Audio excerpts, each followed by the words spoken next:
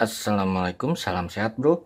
Saya ingin membuat pengukur kapasitas baterai dan kapasitas handphone, uh, tapi dengan menggunakan USB dokter seperti ini atau ini. Nanti akan saya buat seperti ini. Kemudian yang terbaru saja ini, kita lihat dahulu spesifikasinya. Terlihat bro. Ini inputnya bisa sampai 30 volt. Dan arusnya bisa sampai 5 ampere. Jadi memang ini bagus. Kalau kalian mau mencoba beli yang ini saja banyak manfaatnya. Uh, uh, nanti akan saya usahakan sebagai pengukur kapasitas baterai. Ini kelemahannya sudah saya coba. Oh ya. Komponen tambahannya kalian membutuhkan uh, female USB ini bisa ada di bekas charger smartphone untuk ke inputnya. Kemudian untuk outputnya saya menggunakan bekas charger juga. Sudah saya potong. Nanti seperti ini rencananya. Paham ya bro? Jadi ini input jadi bila nanti kita cek smartphone kita bisa masukkan langsung smartphone nanti akan saya coba. Yang pasti smartphone-nya harus sudah mendukung OTG oke saya akan beri bebannya dahulu untuk bagi para pemula. Jadi kita tambah bebannya saja. Untuk beban ini uh, ini saya tulis saja tes tes kapasitas baterai. Oke seperti biasa nanti karena rangkaiannya seperti ini ini yang akan kita tes baterainya kemudian alatnya ini. Kita gambar seperti ini saja. USB dokter USB dokter masuk ke inputnya kemudian outputnya. Kita beban kita beri beban resistor.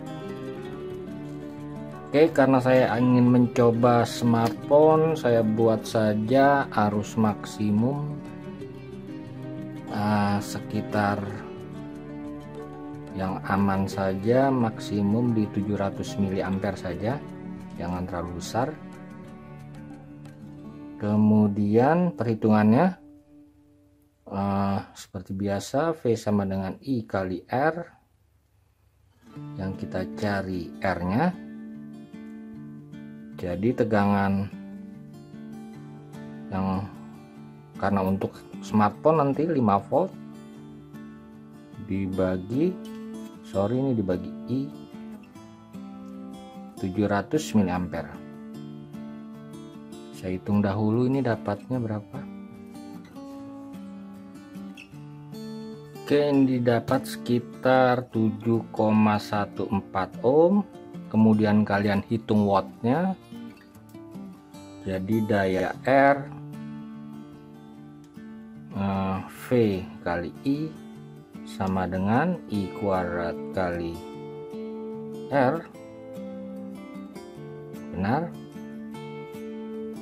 Yang kita hitung dayanya I nya 700 mA kuadrat dikali 7,14 ini didapat terlihat bro didapat. Didapat 3,5 watt jadi untuk bebannya dibutuhkan resistor minimum jangan lebih besar lagi. Jadi minimum 7,14 ohm 3,5 watt. Jadi untuk rangkaian ini saya membutuhkan R 7,14 ohm 3,5 watt. Jadi bila kalian membuat rangkaian seperti ini wattnya usahakan yang lebih besar jangan lebih kecil. Jadi bisa kalian beli resistor 5 watt. Dan resistansinya ini agar tidak melebihi 700 mA jangan kalian pilih yang lebih kecil tapi yang lebih besar agar aman. Oke akan saya contohkan khususnya bagi pemula. Karena ini saya ingin menggunakan resistor seperempat watt saja hmm, ada saja.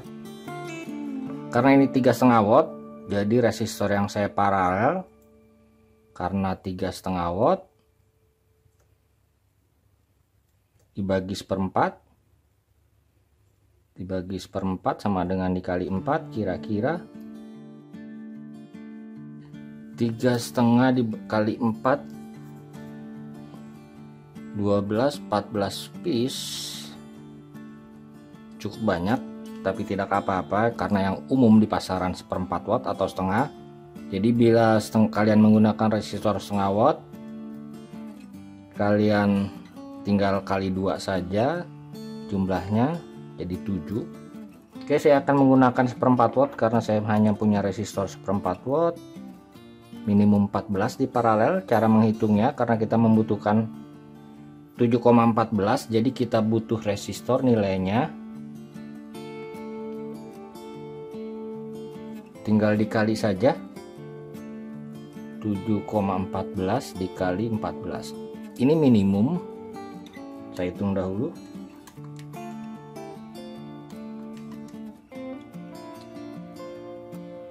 Didapat 99 ini tepat sekali nih 9 ohm jadi yang akan saya gunakan 100 ohm 14 buah.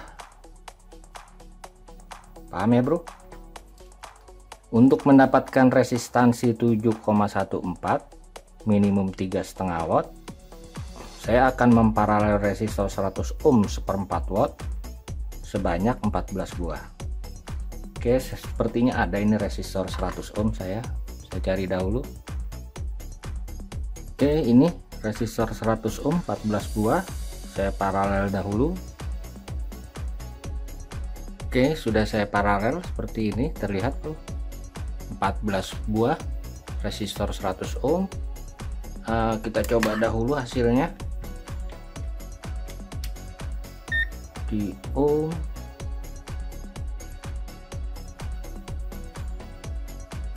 Ya benar 7 ohm 7,14 harus lebih besar sekitar 7,2 ohm. Oke saya pasang kembali. Oke sudah jadi seperti ini. Saya coba saja. Oke kan saya coba power bank dahulu. Jadi bila kita ingin mengecek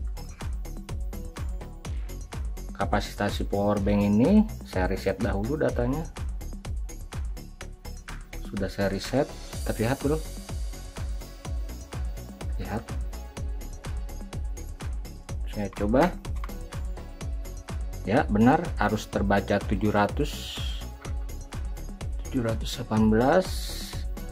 kita lihat nanti kapasitasnya MAH nya sudah mulai terbaca MAH nya lihat bro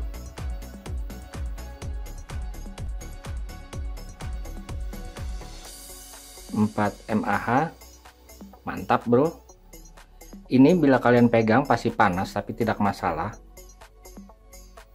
Karena ini dayanya cukup besar tiga setengah watt. Oke mantap. Akan saya coba di smartphone oke contohnya seperti ini. Saya ada resistor 5 watt 7,5 ohm jadi saya gunakan ini. Ini pasti arusnya di bawah 700 mili tapi tidak masalah karena ini akan saya gunakan untuk mencoba handphone jadi jangan terlalu besar. Oke kita coba kalian lihat. Benar 640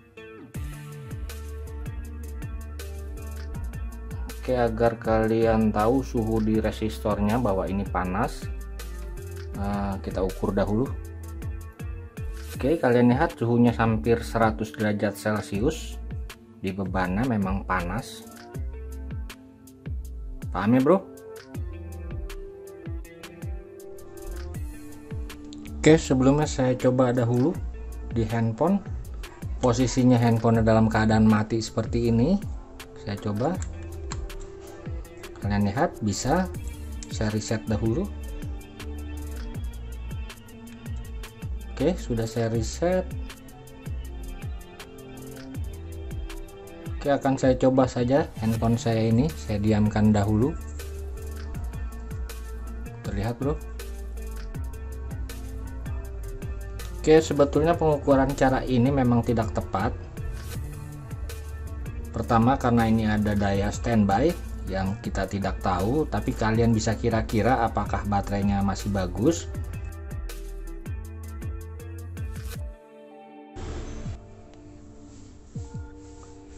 Oke, sepertinya bila kita mengukur kapasitas baterai handphone malah bagus, tegangannya tetap dan ini kapasitasnya tertulis.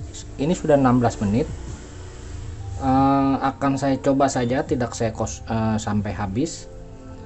Jadi untuk mengetahui kapasitas baterai tentunya kapasitas yang tertulis ditambah kapasitas standby yang tergantung smartphone-nya.